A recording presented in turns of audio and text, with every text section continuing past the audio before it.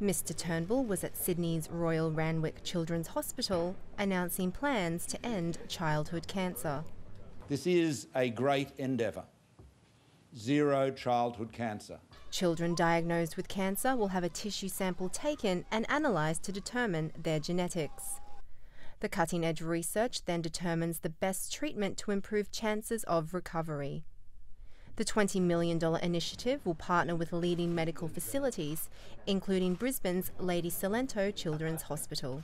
This is a vital part of our commitment to a strong and healthy and prosperous society.